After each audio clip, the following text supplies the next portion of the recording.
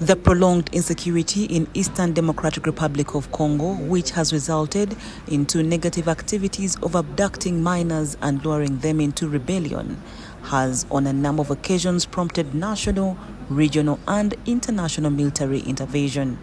According to Major James Birungi, the director of Chieftaincy Military Intelligence, the UPDF and FARDC of Cong have played a big role in bringing sanity to DRC. And uh, you have seen these young ladies who actually turned into wives, at the same time porters, but also a source of manufacture at what? Because they are not actually wives. They are a source of manufacture, recruitment center. Produce as many as you can so that we can have soldiers. Is that one a wife? It's a factor.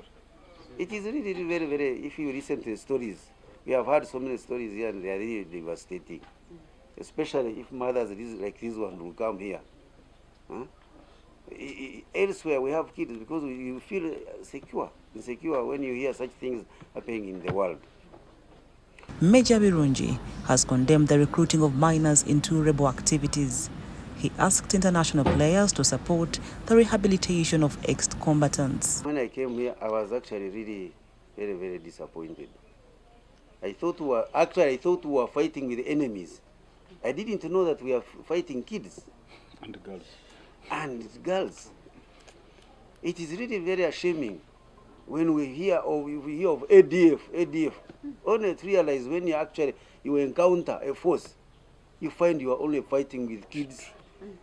And actually kids who don't know even why they are fighting. The coordinator of the Peace and Security Reception Center, Christopher Chibanzanga, requested for more support towards the ex-rebels. He noted that among the 45 juveniles that are in the camp, most of them were born in the bush and abandoned by their parents during the confrontation with the army. These young girls with their babies, with their children, they were abandoned. Some of the children were just abandoned in the camp without a mother, without a father. So that is the situation we have here. And that's how we come up with the rebels of three months, six months, two years, and three years, and four years. The head of Demobilization, Disarmament and Reintegration, Stefan Astron, committed support towards rehabilitation of the captured juveniles, saying that they need psychosocial support before integrating them back into the community. But what is important, of course, is that you have services for them, you know, training, you stabilizing them, and uh, that when they came to this reception center, they will be here for some time, but then you must have something more that will support them uh, in a rehabilitation center.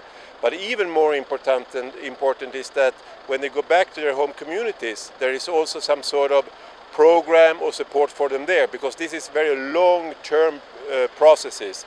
These, these very young uh, individuals here, these boys and girls, they need probably support for five to ten years to be able to restart their life and rehabilitate. So this is not something that they do not in one year, not in one month. It is noted that among the 45 former ADF rebels, 17 are Congolese and only 5 are below 18 years. Report compiled by Gilbert Muhanguzi for the news in Kasese.